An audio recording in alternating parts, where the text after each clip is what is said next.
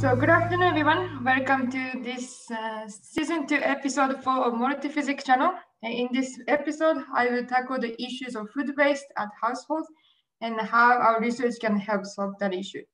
But it's not about me sharing our research. It's more about thinking this issue together and sharing some ideas on how you can also bring your research to your audience.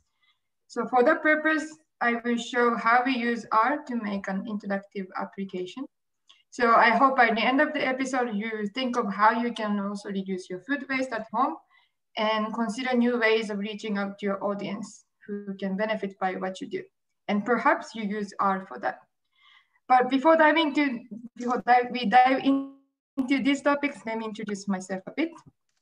So I'm your host today. My name is Kanaha. I'm a fresh graduate from EPFL, uh, where I got my master's in environmental engineering and sciences before that, I was at Georgia Institute of Technology in the States, and that's where I got my bachelor's, also in environment, environment engineering. Now I'm here at EMPA St. Gallen as a research assistant in Department 401 and uh, in the group uh, SimBioSys, Simulating Biological System Group. My colleague told me that I often say that's so sad, but I would say I'm a rather happy person, as you can see me here being smiling happy at the St. Gallen station. Two truth and one lie. So it also links to the topic of today. When I get berries from stores from friends, I'm more thinking of raspberries and strawberries, I will put them in the fridge. I will keep them on the table. I will just eat them all right away. I also want you to want you to think what you would do when you get these berries, and you can maybe tell me your answers after the presentation. And that links to the topic of today, food waste. So now it's not just about berries, but if you have these perishable products, fruits and vegetables, what would you do? You can, of course, eat at the purchase, but maybe you put in the fridge first, you put it on the setter if you have one, you have a fruit basket maybe, and put it that on the table. Whatever you do, these products will go to your mouth or they become waste. And these waste are rather um, significant. And in Switzerland, household food waste accounts for almost 40% of avoidable food waste. And it is considered as the biggest source of food waste. But to avoid this food waste, what can we actually do? One way we propose today is to place these products in their optimal condition so that these products will stay fresh longer. What are these optimal conditions? How the quality of this product will change over time? We as consumers don't have a very little knowledge about it. On the other hand, we at EMPA do gather this information on how we should store these fruits and vegetables. In our group with scientists and engineers, we simulate how these perishable products changing its quality over time. We utilize sensor data such as temperature and humidity, and we use this eh, sensor data as an input for this physics-based model in a few episodes ago, my colleague Chandrima gave a very nice overview of how this physics model looks like and how it works, which is called Digital Twins. Uh, if you haven't seen it, please check it out. And as she nicely explained there, with these models, we get complementary insights which we were not able to see otherwise, and some actionable metrics such as uh, remaining shelf life that consumers can act on. So we do have this knowledge, but consumers don't. So we find there's this missing link here. So to solve these issues, we came up with this idea to, to set up an easy to use mobile app so that consumers can have, access to this knowledge and these tools. So in the rest of the episode, I want to show you this app we've created, so-called My Fruit Twin. And it's, I have to say it's still in the development phase, but I hope you get some insights. All right, so this app, I'm trying to bring it here. This app is created in R. So R is a programming language often used for statistical analysis and visualization. We are using R Shiny package and R Shiny mobile package to make it more interactive and has mobile, um, mobile app-like features. And this app, you can download it uh, using URL. So it's not the native app that you can usually download from App Store, but still you can download using URL. So that's quite nice. Okay, so I will just go through some features we have with this app. Uh, so since we've been talking about optimal condition, let's check what the optimal condition is for raspberries.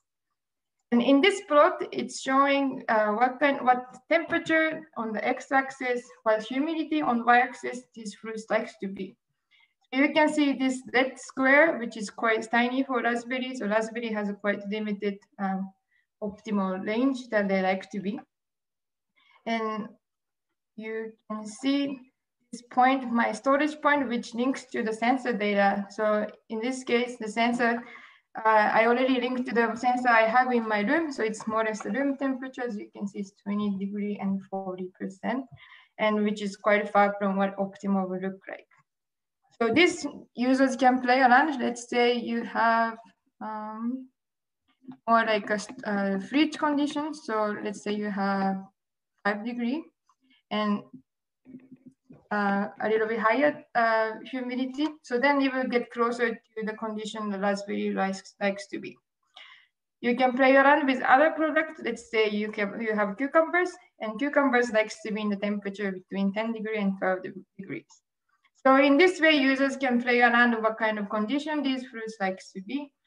And yeah, so that's one point we have. And, and I also want to show another feature. So this tells you what kind of storage condition these um, these fruits are in. Well, basically, so idea is you place this sensor which monitor temperature and humidity in the in the storage where you have those fruits or vegetables. So then you have some overview of how this temperature fluctuates, uh, uh, humidity fluctuates over time. And let's say you plan to eat your product this day, you started to store a few days ago, and you can see the overview of how it fluctuates. And now it, we are selecting cucumber, so let's see how this cucumber quality changes over time. So uh, this tells you how the quality decays uh, uh, in these few days. We are under this such condition that we chose from this plot tab. And based on this input, now you have uh, four, almost 4.5 days left. So that's how uh, uh, consumers can play around with these features. And of course, this quality calculation is based on the, also based on the initial condition. So we provide a few options. You perhaps have a cucumber garden in your house. And then if that's the case, you will stay fresh a bit longer. As you can see now, cucumbers are a little bit happier in this stage. Um, maybe you buy already on the sales a little bit more damaged and you can also see when it's more damaged, now you have less than three days left. So that tells you this remaining shelf life. Another feature we are working on is to link up more closely with the temperature each users have. So now I have to manually update this temperature data and humidity data set. The idea is that in the future, we will link up this automatically with your uh, probably Bluetooth. And good thing about this is that you can easily, uh, users can see how how it links to their condition. So not just the already uh, inserted data. And then let's, you can do the same thing. Let's, let's say I got the berries here or cucumbers now, and you day. So then you can see how the storage condition changes over time. And ideally, this will link up back to the quality calculations. It's not that, like that now, but that's the idea we have. One last feature I want to show is this shelf life um, plot. Uh, and here you can have an overview of what product you have. So let's add bell pepper and tomatoes and maybe apple as well. And then here it, it has, you can have an overview of what product you have, what remaining shelf life these products have. And now these calculations are based on the, the sensor data we have. So I'm assuming that all the products in the same storing condition. And but yeah, so maybe not necessarily the case all the users have, but uh, we are working on this. And the idea is that with this information, they can um, they can play around how the temperature impact their uh, the remaining shelf life and also remember what product they have in their in their house.